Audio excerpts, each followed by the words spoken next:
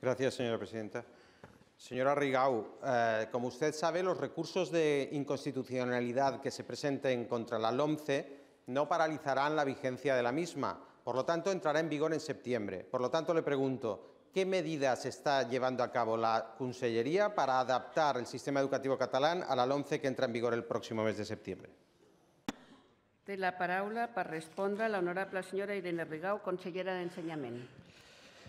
Gràcies, senyora presidenta, senyor diputat. El primer que fem és estar molt amatents als canvis i modificacions que el propi govern del Partit Popular està fent un cop aprovada la LOMCE. Miri, la improvisació i el caos que han voltat aquesta llei han comportat, primer, que l'informe del Consell d'Estat en el Reial Decrets fa notar que hi ha l'informe negatiu d'Hisenda del senyor Montoro i que, per tant, això pot ser una greu dificultat per la implantació. Segona, el currículum de primària, un cop ja es havia informat per la conferència sectorial, s'ha hagut de corregir. S'ha hagut de corregir perquè el senyor Bert ha hagut d'admetre que la prehistòria a Espanya no existia. Ha hagut d'admetre que a 12 anys no es poden estudiar 30 etapes històriques i ha hagut d'admetre que potser era convenient que es parlés del feixisme i del nazisme i del franquisme han hagut d'admetre diverses coses. Però és que, a més a més, ahir es feia pública la necessitat d'aprovar una nova disposició transitòria perquè ens havien quedat, com havíem denunciat reiteradament, alumnes als llims.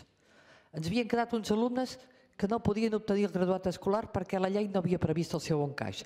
Ara sortirà un altre ordre. Per tant, quan tot estigui ferm, nosaltres anunciarem el seu desplegament.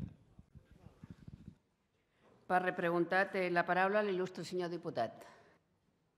Bueno, señora Rigau, pues de lo que no nos hemos enterado es al final si usted va a hacer que los alumnos catalanes estudien conforme al currículum que ya ha establecido en un Real Decreto el Estado en desarrollo de la LOMCE o conforme al currículum que la Consellería quiere establecer. De eso no nos hemos enterado y eso es algo importante porque los alumnos catalanes al final, según esta ley, van a tener que someterse a unos exámenes para obtener los títulos oficiales que el Estado prevé y los alumnos catalanes van a tener que estudiar el mismo contenido curricular que estudien los otros alumnos del resto del Estado, porque si no sería una discriminación para nuestros alumnos que se verían de peor condición para obtener los títulos oficiales.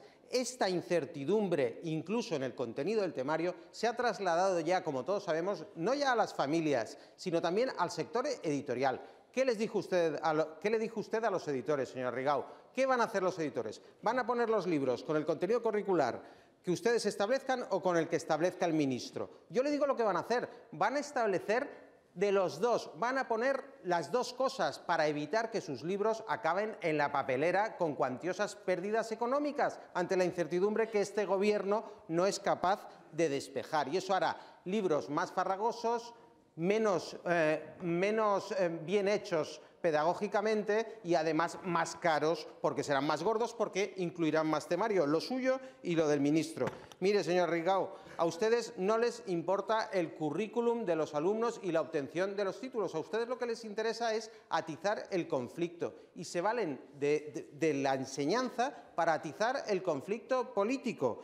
No lleven la política de confrontación de su gobierno también a la enseñanza. Esta norma hay que aplicarla a partir de septiembre, pues lo que procede es que nos reunamos todos los partidos políticos catalanes y estudiemos en beneficio de los alumnos catalanes y de los ciudadanos de Cataluña cómo podemos limar esos problemas que usted dice que existen en la LOMCE y que es cierto que existen porque no es una norma muy buena, pero que nos pongamos todos juntos a hacer que los alumnos hagan, tengan una buena enseñanza el curso que viene. Per respondre, té la paraula l'honorable senyora Irene Rigau.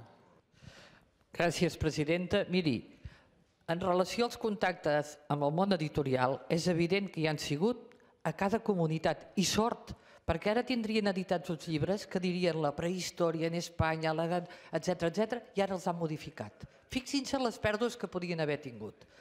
Per altra part, recordar-li que la competència d'ordenació la té la Generalitat i no ha de patir gens pel currículum. El nostre currículum garantirà l'obtenció de tots els títols. Això és indiscutible.